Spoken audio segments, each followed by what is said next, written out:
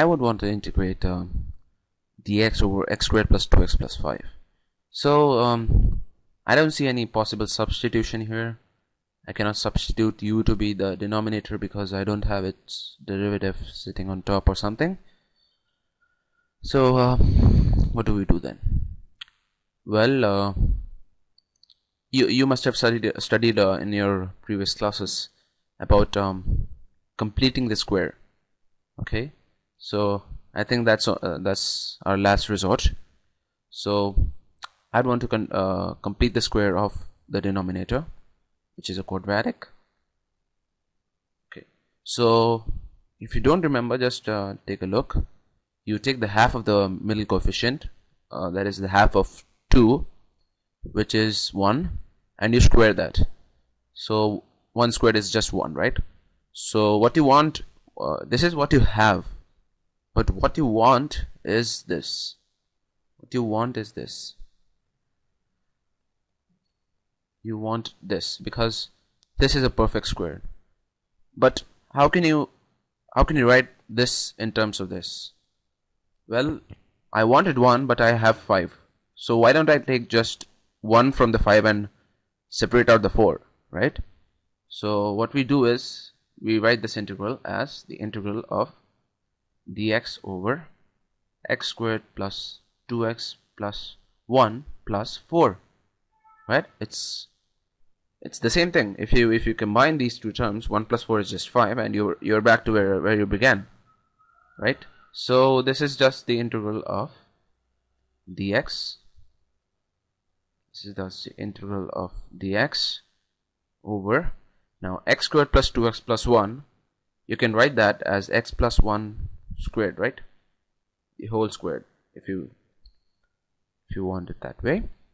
It is the x, uh, x plus 1 whole square so it is x plus 1 squared plus and it was this term that converted into this term. So we have a 4 left out here plus a 4 so now um, what I'm going to do is I'm just going to write rewrite this as x plus 1 square I'm going to leave that as it is.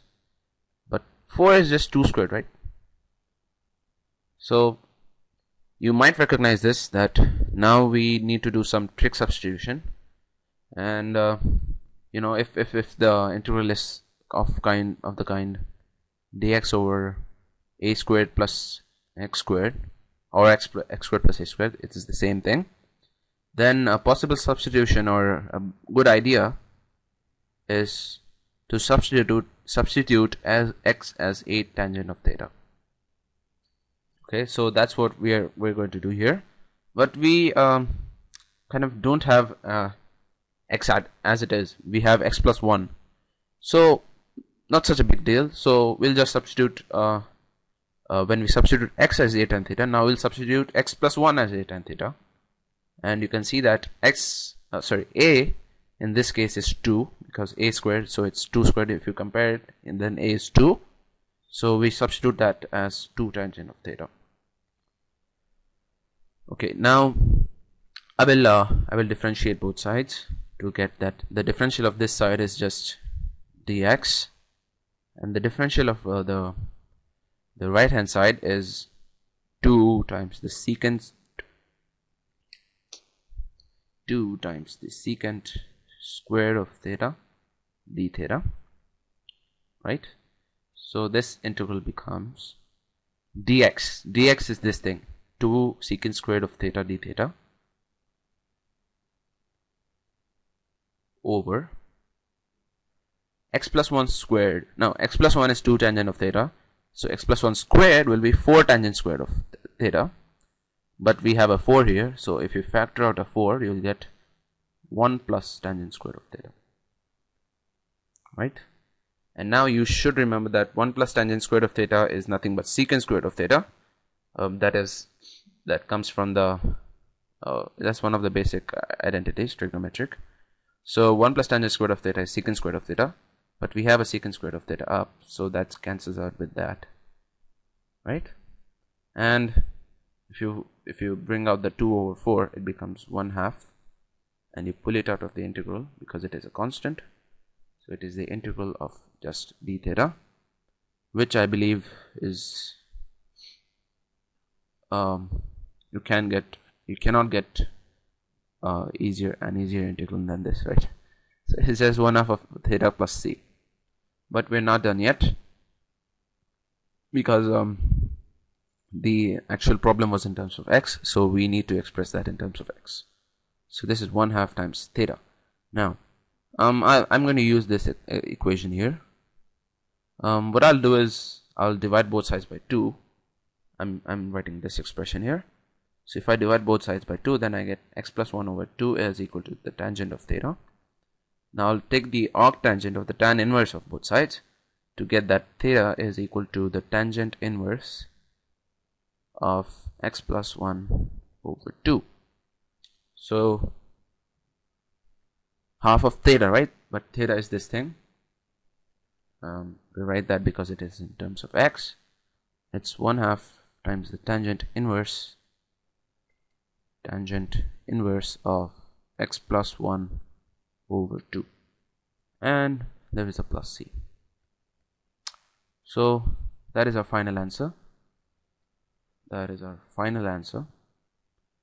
But you see that there is no uh, no specific technique for any integration problem. It's kind of an art. You have to uh, adapt to the problem you know just kind of sticking to a, a particular uh, technique won't help you at all. Um, so in this case uh, you might have uh, done something like uh, u substitution or something um, but that wouldn't have worked or uh, even if if if it, uh, if it, it would have worked then it was uh, then it would be a very very very long uh, long uh, technique. So you kind of have to see this um, if there is no specific derivative of the denominator sitting on top then you try something uh, like um,